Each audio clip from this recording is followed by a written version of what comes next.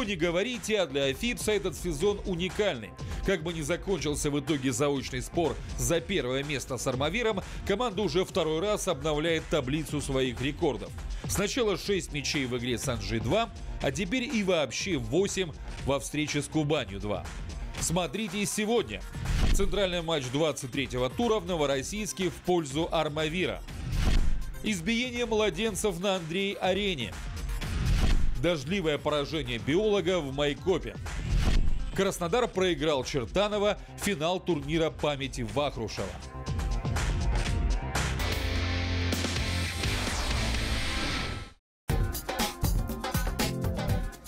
В 23-м туре в Новороссийск приехал Армавир, команда которой очень нужны победы в каждой игре. В отличие от хозяев поля, которые вот уже который год балансируют на грани большой задачи, но все время останавливаются возле нее.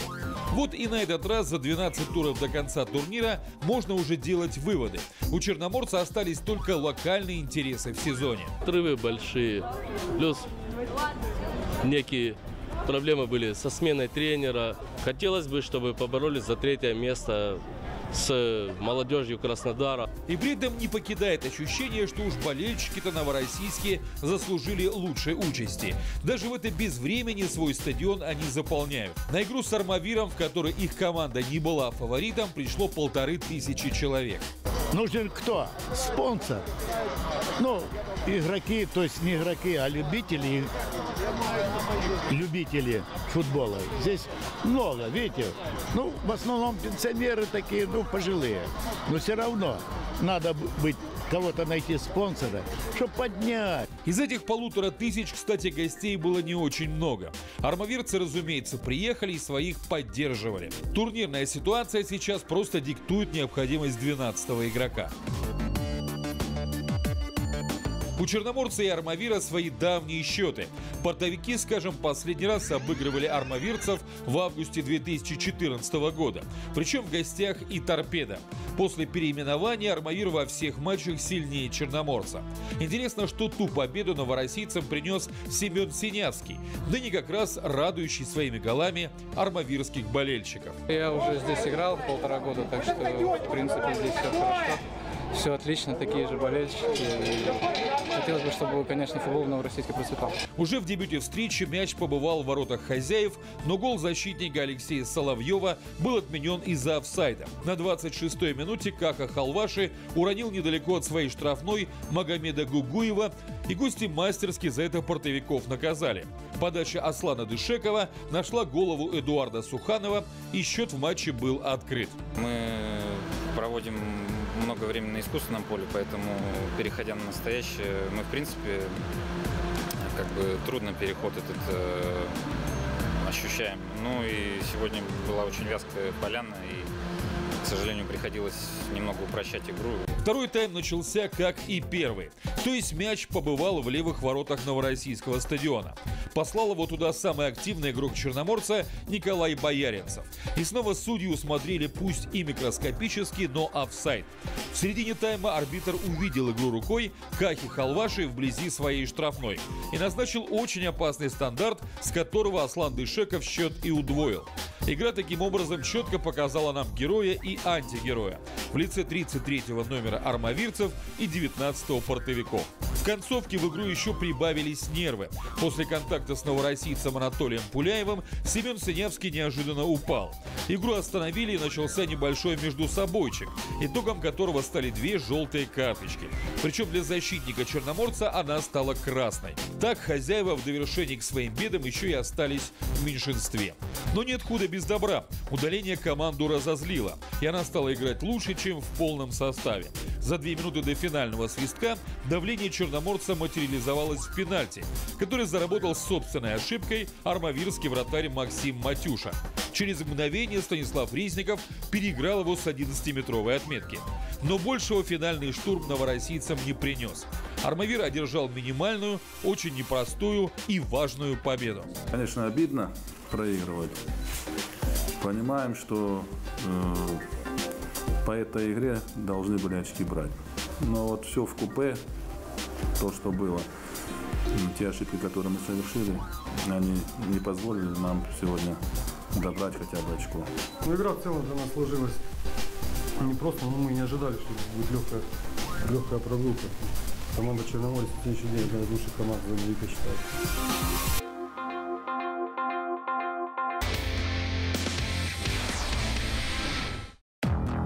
Это же самое время основной конкурент Армавира, футбольный клуб Афипс, вовсю куражился над Кубанью-2. И без того молодым желто-зеленым не просто набрать обойму на каждый матч. А тут еще игра совпадала с матчем основной Кубани футбольной национальной лиги. 70 минут желто-зеленые играли неплохо, с вполне приемлемым для себя счетом. Даже гол забили. Его автором стал Никита Скуридин. Но затем устали, рассыпались и пропустили еще пять мячей.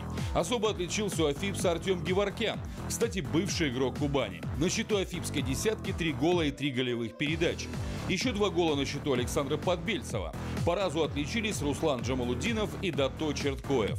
В итоге еще раз повторимся 8-1. С одной стороны исторический рекорд результативности, с другой такой же исторический конфуз. Во что-то среднее между футболом и водным поло пришлось играть новокубанскому биологу в Майкопе против дружбы. Сильный дождь привел поле просто в негодность, и команды больше на нем мучились, чем играли. Уж точно ни о каком комбинационном футболе речь вести нельзя. Вряд ли бы на нормальном газоне допустил такую ошибку защитник гостей Азамат Кокоев. Подарком воспользовался игрок дружбы Тофик Кадимов, который забил гол, оказавшийся в итоге победным. Во втором тайме Кокоев в подобной ситуации подарил момент Анзору Ашеву, но полузащитник хозяев не смог в этот раз укротить высокую майкопскую волну. Краснодар-2 принимал на полях своей академии Махачкалинский легион «Динамо», команду которой в этом сезоне вполне себе середняк зоны юг. Еще осенью академики щелкали таких соперников, как «Семечки», но сейчас с более молодым составом вынуждены дома терять с ними очки. Голов в этом матче не было. То, что забивать команды в игре не собираются, они наиболее ярко подтвердили на последней минуте первого тайма. Сначала Ислам Акаев буквально с метра умудрился попасть в штангу краснодарских ворот. Ну еще дальше пошел Руслан Арзаев, который в ответной атаке с этого же метра пробил вообще мимо. Из других матчей отметим очередную победу Ставропольского «Динамо». На этот раз над дублерами Анжи. Не скучно было и в Пятигорске. Четыре гола, четыре карточки за неспортивное поведение. Лидеры оторвались на 10 очков от всех. Отметим также, что Черноморец откатился на шестую позицию. Прошлогодний участник ФНЛ «Спартак» из Нальчика начинает бороться за бронзу. Внизу снова на последнем месте Кубань-2, и уйти с него будет трудно. Интересно, что у Ставропольского «Динамо» в обозримом будущем две домашние игры против Армавира и Афипса.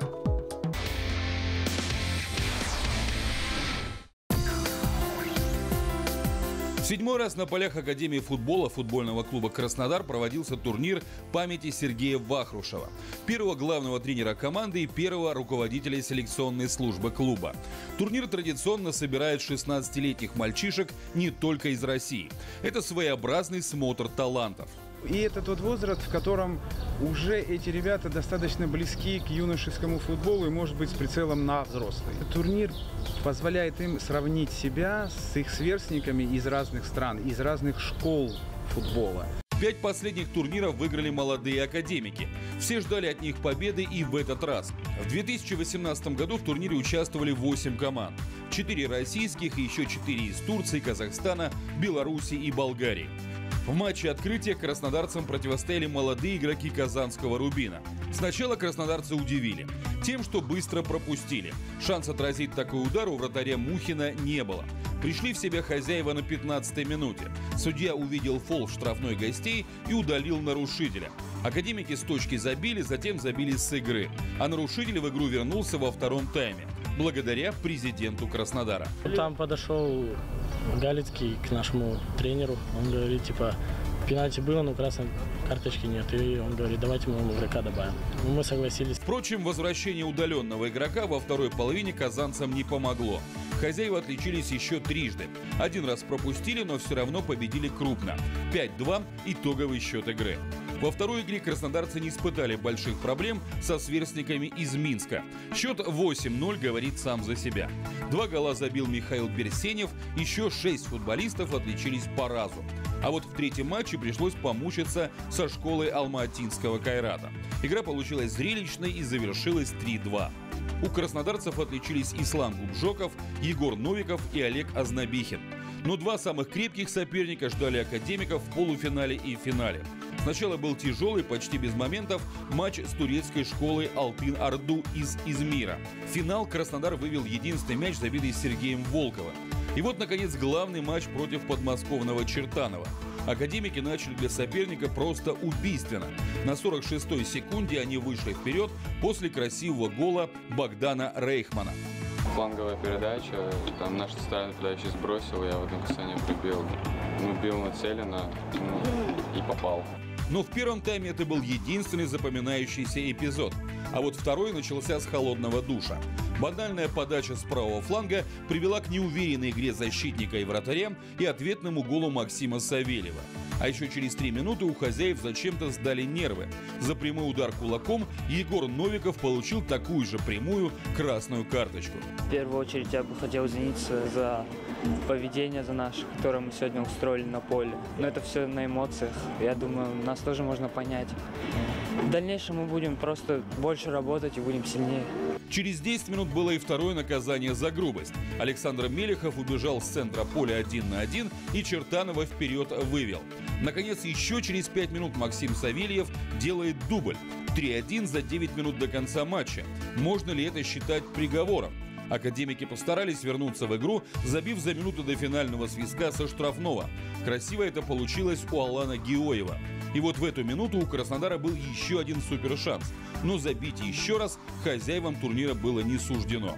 Во второй раз в истории главный приз покидает краевой центр, чемпионом становится Чертанова. Ну, я доволен и результатом, и очень рад за то, что пригласили на этот замечательный турнир. Турнир просто на очень хорошем уровне проведен. Вот, будете приглашать, будем приезжать. Игра в финале получилась достаточно боевой такой. Я думаю, что все зрители были так, в тонусе, скажем так.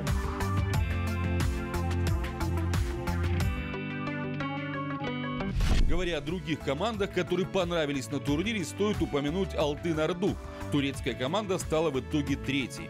Итоговая таблица Вахрушевского смотра на ваших экранах. Эта программа подводит итоги первого весеннего футбольного месяца. А во втором, в апреле, нас ожидает возвращение чемпионата Краснодарского края и новый чемпионат страны среди женщин. Смотрите нашу программу и следите за тем, чем живет край футбольный.